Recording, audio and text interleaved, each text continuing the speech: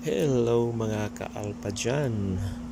Na wave 110 uh, ito madalas na problema ng wave natin guys.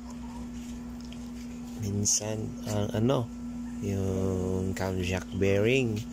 So napalitan ko ng camshaft bearing. Uh, annually uh, i-replace ko yan. So ang ito naman yung salamin sa gauge uh, niya dito.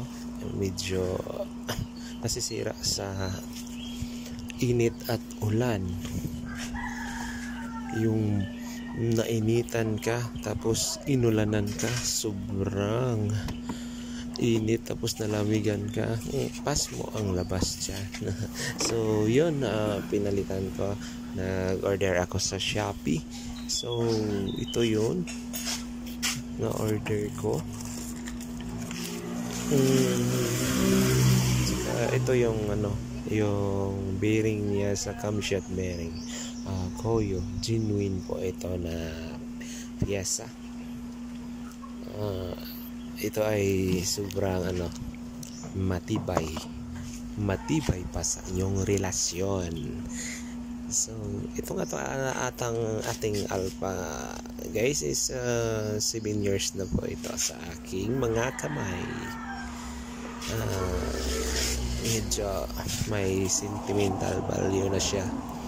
Mm, gusto nga siyang palitan pero hindi ko pa pinalitan kasi well, ewan ko. Walang pera pala.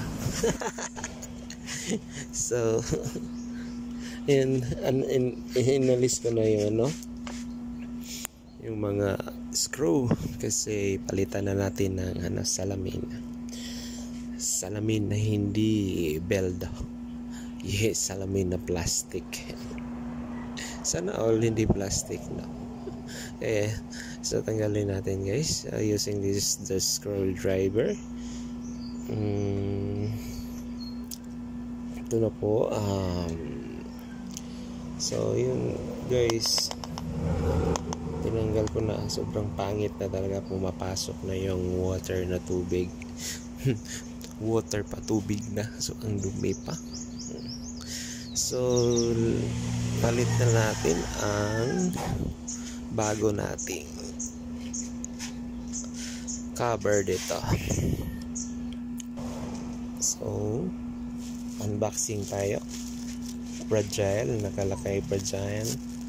Pupunitin na natin na sobrang ano sip na sip yung ano parcel natin nilagyan ng bubble wrapper tsaka meron pang scotch tape para hindi mabasa. Tsaka meron pa yung ano cellophane. Pinasok na sa cellophane pinasok pa sa karton uh, matibay matibay pa sa relasyon. So tanggalin natin lagay na natin doon. So wala na tayong fast forward fast forward. Tunay na tunay. Yun o oh. hmm. okay. So ganda. Nakasilupin na naman. Naka bubble wrap naka cartoon nakasilupin na naman. So sobrang sulit. Pagtanggal ko sa silupin may silupin pa naman Oh, so ito na yan, oh. ito na. Tara! Oh, parang gagol, oh. Hmm. Nawala yata sa um, so dalawa ang klase po ito meron pong ash color tsaka itong clear white lang binili ko para clear na clear tingnan clear pa sa ash Ash, Ash, Ash, yo, yo, yo. so, madali, madali lang yan i, ikabit guys, i-install. Madali yan lang install guys. So, install natin ha. Tingin-tingin lang kayo. Huwag kayong magsawa. Dahil sawa, sawang sawa na kayo sa sinasawaan ninyo. So, ito na yun guys. So, Okay. Insert na natin. Hirap pala mag voice over.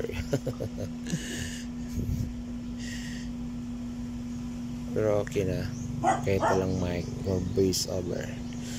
Voice over. Hmm. Sayang hindi nyo nakita paano ko in-insert. So, madali lang yan kung kayo ang magtatanggal. So, alam na ninyo kung paano ibalik. Noted na yan mga ludes. So, ito na yan. Kinabit ko na. Yan, dito. Dito ko. Ito lang ako nakascrew. Yan. Tara! Parang bago. Parang bago yung motor. Wala na lang washing nito para magiging makintab. So, itong sobrang dumi, oh. Nung pinalit ko.